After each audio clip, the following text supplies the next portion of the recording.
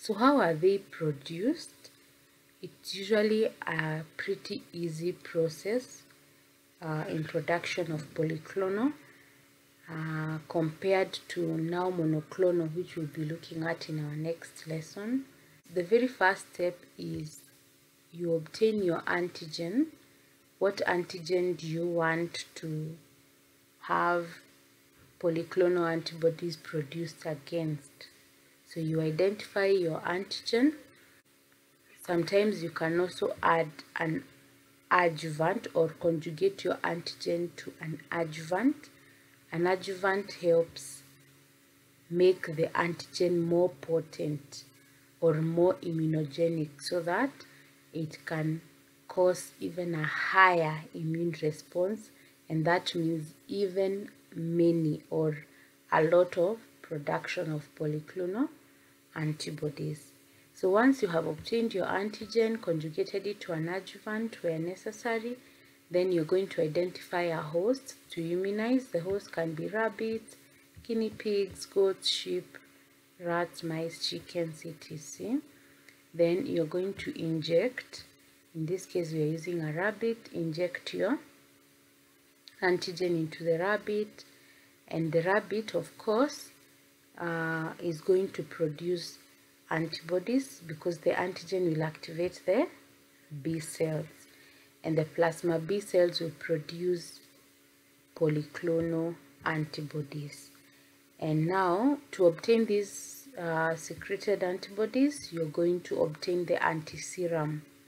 Draw blood again and get the antiserum which we are going to purify and obtain our polyclonal antibodies and there'll be a collection of different types of antibodies. Remember we talked about IgG, IgM, IgE, IgD so there'll be a collection of different types of antibodies.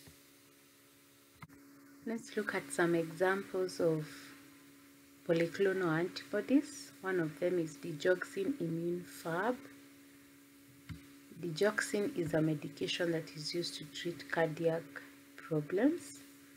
And sometimes we could have what we call digoxin or digitoxin toxicity. And digoxin is derived from uh, digitalis plant the foxgloves digitalis plants the fox gloves. Like this one I have given an example. Or sometimes we could have poisoning through consumption of this plant by animals and uh, human beings. So we raise polyclonal antibodies against this uh, digitalis derivative so that in the situation of digitoxin toxicity, we can administer these polyclonal antibodies. They bind to the digoxin and we are able to reverse the poisoning or the toxicity. We have another example called the Rho D immunoglobulin and this in the market you find it as RhoGAM and this one is made from pooled human sera or human plasma donated by rhesus negative donors. So the D antigen is the one that gives us a positive, uh, for example, blood group A positive, and those without the D antigen are, for example, blood group A negative. Now in these individuals with negative, they are able to produce antibodies against the D. So once you give D antigen to humans with A negative, they are going to produce the rhesus antibodies. Now once we do that, we are able now to purify the human serum and these human antibodies against D antigen can be used in binding the antigen in situations of uh, maternal active immune response towards the fetus. In situations where the mother is rhesus negative and the fetus is rhesus positive. Because once the fetus is rhesus positive the antigen that is the D antigen is able to cross the placenta to, to the mother who is rhesus negative, causing the mother to produce antibodies against the antigen D.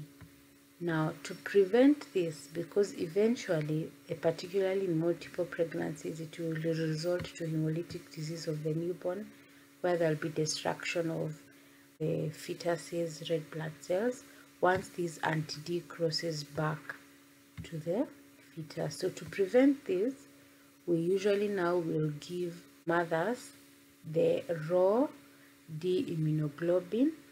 Now this Rho D immunoglobulin is going to bind to the D antigens that are coming from the fetus so that there will not be any production of anti-D antibodies. We also use RhoGAM in immune thrombocytopenic purpura in people who have rhesus positive